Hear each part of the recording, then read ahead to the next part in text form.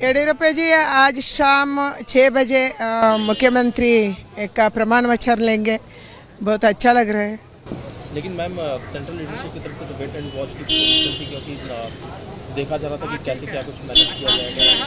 No Amit Shah and Modi ji मिलके उसको तो समर्थन दिया है येडियुरप्पा जी को मुख्यमंत्री बनाने के लिए। इसीलिए येडियुरप्पा जी आज दावा किया है स्पीकर इसके पास, हमारा गवर्नर के पास छः बजे शपथ लेंगे।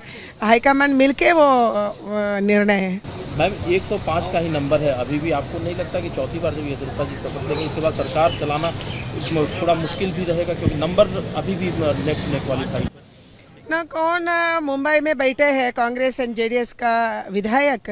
वो अभी भी बताए हैं, वो वापस नहीं आएँगे, क्योंकि उसका, वो कांग्रेस एंड जेडीएस के नेता से नाराज़ है, इसीलिए वापस नहीं आएँगे। इसका इस्तीफा मांग करना, ऐसा इसका मांग है।